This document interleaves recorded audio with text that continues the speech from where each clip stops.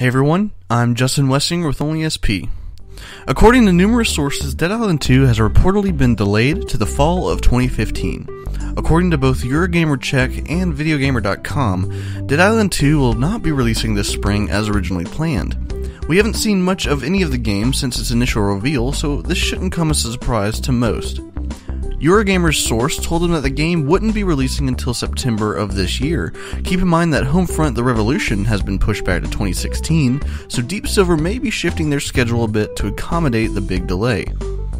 A planned beta for the game was supposed to be available sometime this spring, but there's been no word from Deep Silver on the matter. We'll keep you updated if we hear anything more regarding Dead Island 2 and the rumored but most likely delay of the game. Stay tuned Only SP by following us on Facebook, Twitter, and of course our YouTube channel. Thanks for watching.